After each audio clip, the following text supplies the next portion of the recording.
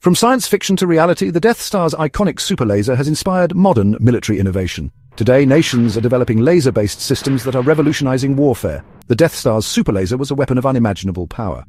While we're not blowing up planets, real-world technology has advanced to create lasers capable of destroying drones, missiles, and even enemy aircraft with pinpoint accuracy.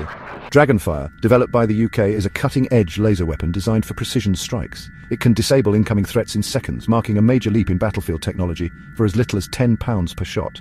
Israel's Iron Beam takes defense to a new level. Using high-energy lasers, it intercepts drones and rockets mid-flight, offering a cost-effective and efficient alternative to traditional missile defense systems. The US Navy's LAWS deployed on ships can target drones, small boats, and aircraft. It's not as dramatic as a Death Star, but it's a game-changer in protecting vessels from modern threats. Unlike traditional weapons, lasers are accurate and cost-effective. They don't rely on ammunition, making them ideal for prolonged engagements and defending against swarms of small threats. Although we're still light years away from Death Star-level destruction.